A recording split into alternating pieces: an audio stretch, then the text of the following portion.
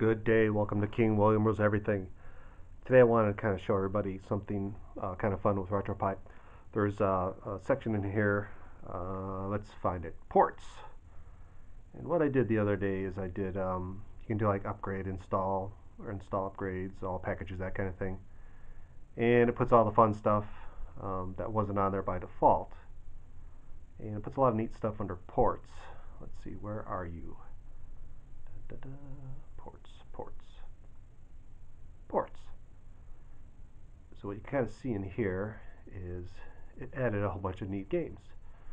Um, Cave Story, Descent, Descent 2, Doom 3, Doomsday Engine, Duke Nukem 3D, uh, Return, I uh, don't remember that one, uh, Kodi, uh, Kodi, if you want to do some, uh, you know, some streaming, movie streaming, uh, TV streaming, that kind of thing. I play with this a little bit. It's kind of slow. It, it works. Uh, LinCity, I think that's kind of like a, a SimCity clone. Marathon, I don't remember this game. Most have been popular as Marathon 2 and Marathon Infinity. Uh, Micropolis, Mystery Masters, compilation of 15 casual games, hidden objects, uh, OpenTTD Transport Tycoon Deluxe. Um, oh, uh, Transport Tycoon Deluxe remake. Open Tyrian, uh, vertical scrolling shooter, Prince of Persia, Quake 4, Benno's Quake 4, Space Engine, Super Mario War. Uh, this looks kind of be kind of interesting.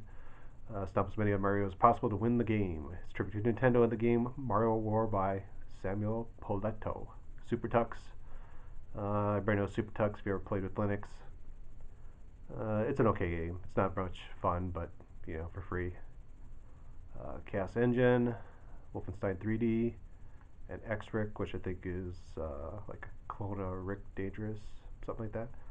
Maybe what we'll do, we'll just let's see, if we maybe play. I don't know. What do you think? Doom 3 just give it a test, see how it works. And we'll say launch. Why not? Let's launch it. Doom 3.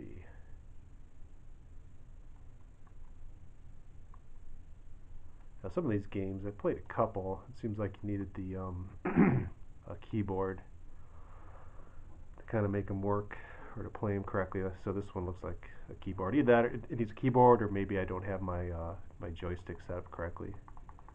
New game. I'm using a little uh, Bluetooth keyboard. Apparently that wasn't okay.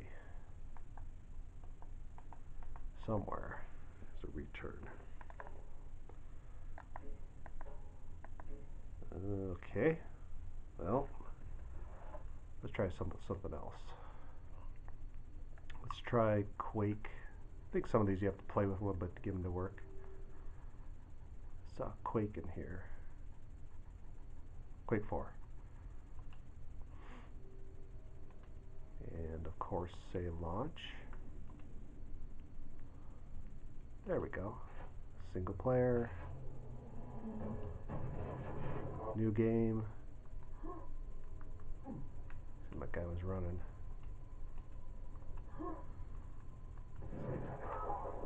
Oh yeah, don't jump in the lava. That guy's in the lava.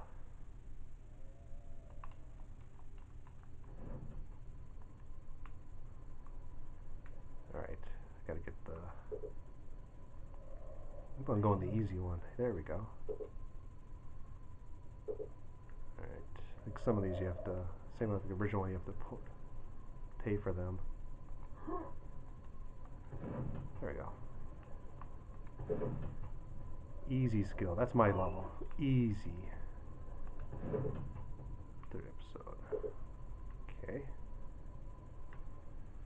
Well, you get the idea. It does work. Um, so you'd have to play it and see how it works. But um, you know, for the price, you can't beat it. So I think it's, I really, really recommend um, going in, uh, installing all the updates for this because uh, then you finally get Kodi. You can manually install a lot of this stuff, but I, I just, like I said, I just did um, uh, you wanted to like install upgrade all pack all pack uh, whatever, and uh, you know got all these neat little games. So it's kind of a nice little distraction. Also, uh, when I did that, I got uh, oh Infocom. So I put the Zork one, two, and three. So that's kind of nice. And of course, we want to launch it. Bam. There you go. Kind of hard to read on this screen. Um, you know, it was probably originally figure. Um,